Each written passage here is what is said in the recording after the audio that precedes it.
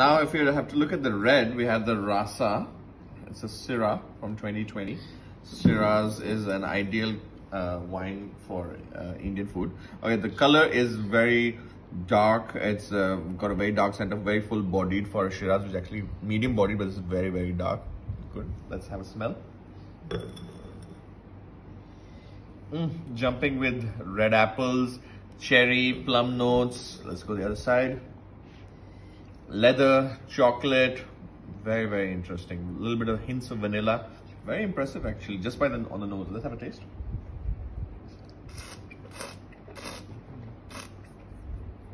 Mmm, yummy. Not too acidic, not too tart. It's actually pretty, pretty good. Uh, if I had to rate this wine on 10, I would definitely say for its price point of 2320 this is a good 8 on 10. And for Indian wines, 9 on 10. And uh, yeah, I, I think this is a very good collection by Sula. Do check it out. Cheers.